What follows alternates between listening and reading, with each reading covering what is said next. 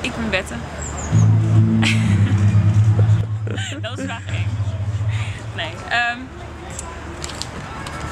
als ik eh, s ochtends opsta, of een- in een Fashion Week week, dan eh, ga ik altijd eerst douchen en thee zetten en koffie zetten. En dan eet ik yoghurt met muesli. en dan moet ik altijd heel snel verder opschieten, want ik ben altijd een beetje sloom ochtends.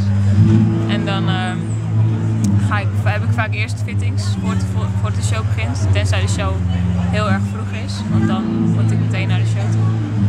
En dan eh dus kleren passen bij fitting. En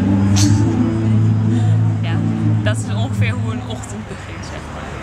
Maar het verschilt elke dag. Want som- sommige dagen dan, eh, moet je meteen naar een show toe. En dan begint de show bijvoorbeeld om 10 uur, dus dan moet je om eh 7 uur er zijn.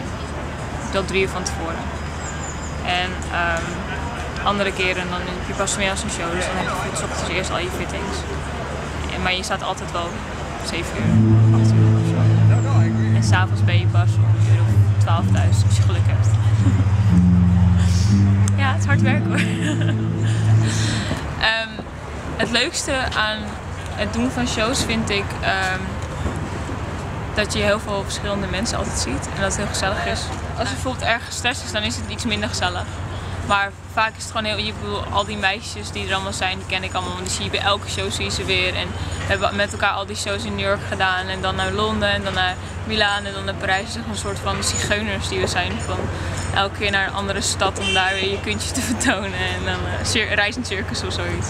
Als ik moet wachten tijdens de show, dan show, weet je, het is, tijdens de show hoef ik vaak niet zo heel lang te wachten, want dan doen ze je haar en make-up. En dat kost heel veel tijd. En daarna komen alle fotografen en die willen allemaal foto's van je maken. Dus op zich veel je niet zo heel vaak. Maar tijdens fittings en zo moet je, en castings moet je wel vaak lang wachten. En dan lees ik eigenlijk gewoon wel vaak een boek. Mijn leukste shows zijn...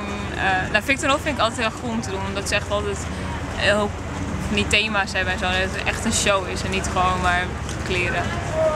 En ehm, in Italië hebben ze over het ook wel van die, dat soort shows, dat je echt, echt zo'n spektakel hebt. En zo bij Dolce Gabbana bijvoorbeeld ook. Ik dat niet echt, zou dat nooit kopen zelf, maar ik vind het wel, het is wel, dus het is wel een show. Dat vind ik wel leuk.